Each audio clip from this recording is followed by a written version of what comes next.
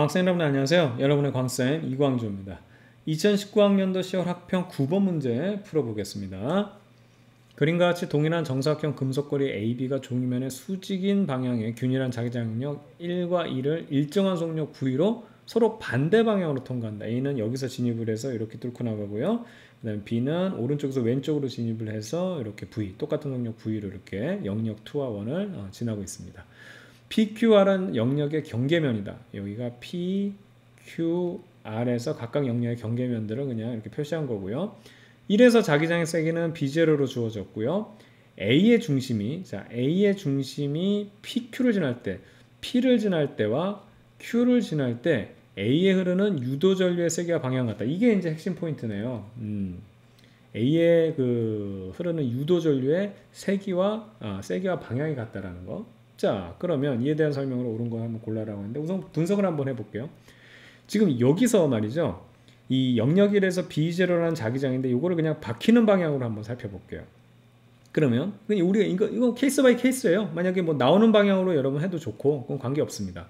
자 여기서 없다가 박히는 애가 이렇게 여기에 생기죠. 그러면 어떻게 오지마 하면서 이런 방향으로 어, 자기장 자기장 형성해서 유도 전류는 이런 방향의 유도 전류가 만들어지는 겁니다.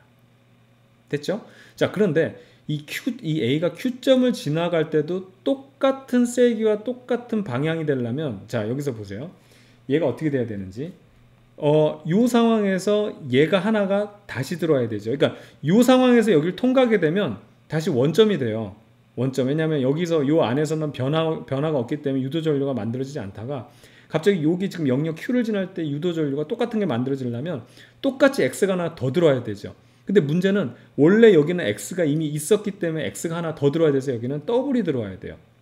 더블이 들어와도 원래 X는 기존에 있었기 때문에 들어온 하나만 이 하나에 대해서 오지마 하면서 이렇게 반대 방향의 자기장을 만들고 따라서 유도 전류가 이렇게 된다. 즉 영역 2라는 것은 얘가 더블 X라는 걸 알 수 있고 따라서 이 X 하나가 B0라고 한다면 얘는 어, 2B0가 되는 거죠. 음, 이런 사실을 알 수 있는 겁니다. 되겠죠? 자, 그럼 여기서는 한번 다시 볼게요. 여기 아예 나갈 때는 X, 더블 X가 두 개가 없어져 버리죠. 음, 더블 X 두 개가 여기, 여기 더블 X가 두 개가 있었는데 걔네들이 이 부분에서 빠져버린다. 그러면 가지마 하면서 어떻게 된다? 얘를 보충해 주는 방향으로 두 개가 생깁니다. 그래서 강도는 두 배가 되고 그 다음에 유도 전류 방향은 반대 방향이 되는 이런 상황을 우리가 어, 확인할 수 있는 거죠. 되겠죠? 좋습니다. 자, 그럼 여기도 한번 볼게요. 더블로 두 개가 있다가 갑자기 여기 하나가 되니까 그 X 하나가 빠져버리잖아요. 그렇죠? X 하나가 빠집니다. 그럼 어떻게 된다? 가지마 하면서 X를 보충해주는 방향으로 유도 전류가 만들어지겠죠. 그래서 이렇게 하나가 생기고 이렇게 돌아가는 음, 유도 전류 방향 되겠고 그 다음 여기 하나 있던 X가 또 빠져버리죠. 그렇죠? 그러면 가지마 하면서 다시 보충을 해주니까 여기도 어, 유도 전류의 어, 세기와 방향은 똑같이 어, 이 부분과 이 부분 똑같이 이렇게 형성이 된다는 걸 알 수 있습니다. 자 그럼 한번 옳은 것만 골라보도록 할게요. 이 영역에서 자기장의 세기는 2B0다. 우리가 체크했던 내용이 되겠고요. 니은 A에 흐르는 유도 전류의 세기는 A의 중심이 R을 지날 때, 음, 여기 지날 때, 그 다음에 그 다음에 P를 지날 때 두 배다. P를 지날 때 요거는 하나잖아요, 요거. 그렇죠? 하나지만 여기는 두 개니까 두 배다. 맞는 내용이고 방향은 어떻게 된다? 반대가 된다는 거. 그래서 여기는 지금 어, 크기만 물어봤기 때문에 R이 지날 때가 두 배가 더 크다라는 거 맞는 내용이 되겠습니다. 그렇죠? 음, 그래서 이거 맞고요. 그 다음 D은 A와 B의 중심이 각각 Q를 지날 때 A와 B의 중심이 각각 Q를 지날 요거를 얘기하는 거네요. 그렇죠?